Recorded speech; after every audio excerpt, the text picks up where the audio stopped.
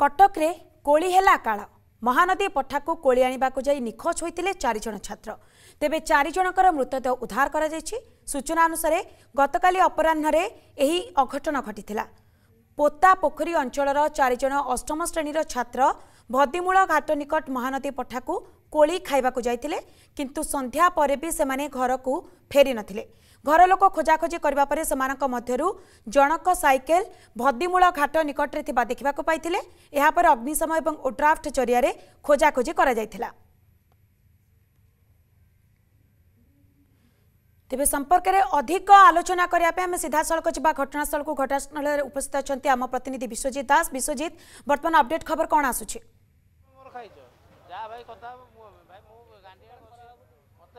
ଦେଖନ୍ତୁ ଏବେ ଯେଉଁ ଅପଡ଼େଟ୍ ଖବର ଆସୁଛି ଚାରି ଜଣଙ୍କର ମୃତ ଶରୀର ମିଳିସାରିଛି ଏବଂ ତାଙ୍କର ମୃତ ଶରୀରକୁ ଏସ୍ସି ମେଡ଼ିକାଲକୁ ପଠାଯାଇଛି ଯେହେତୁ ପୋଷ୍ଟମର୍ଟମ୍ର ପ୍ରକ୍ରିୟା ରହିଛି ପୋଲିସ ଗୋଟେ ୟୁଡି କେସ୍ ରୁଜୁ କରିକି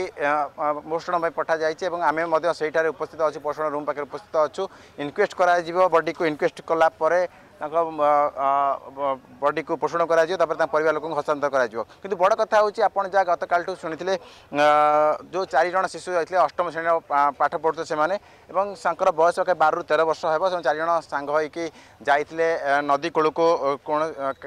जाते ଗାଧୋଇବା ପାଇଁ ବା गाधेवाई ତୋଳିବା ପାଇଁ ଯେତେବେଳେ ଗାଧୋଇଛନ୍ତି ଗଣ୍ଡରେ ତାଙ୍କ ଗୋଡ଼ ଖସିଯାଇଛି ଏବଂ ସେମାନେ ପରସ୍ପର ପରସ୍ପରକୁ ଧରାଧରି होईक ବୁଡ଼ି ଯାଇଥିଲେ ଏବଂ ଯେହେତୁ ସିଏ ରାସ୍ତାଠୁ ସାମାନ୍ୟ ଦେଢ଼ କିଲୋମିଟର ରାସ୍ତା ଭିତରକୁ रहिँची नदीटी लोक चलप्रचल लोक खबर पाइन त्यो परिवार लोक सन्ध्याबे खोजाखोजी कले खोजाखोजी कलाप्रो सूचना मिला नदीकूल खोजाखोजी गर्दै तर ड्रेस सइकल नदीकूले पडियर देखिएँ त्यो सूचना मिलला मिलाएर जो अग्निशम को खबर दिला गतकाली गोटे मृतदेहको जब उद्धार गरि अग्निशम विभाग सकालु दुईटी मृतदेह घटाइला एघटा मृतदेह को मृतदेहको उद्धार गराइला जो गए दुखद घटना समे गए गोटे समस्त शुखाकुल परिवेश भित्र रह पोतापोखरी अञ्चल जु चारिज निष्पाप शिशु ले जीवन बुझा पूर्व मृत्यु हुसिन्छ निश्चित भावाकुल परिवेशभित्र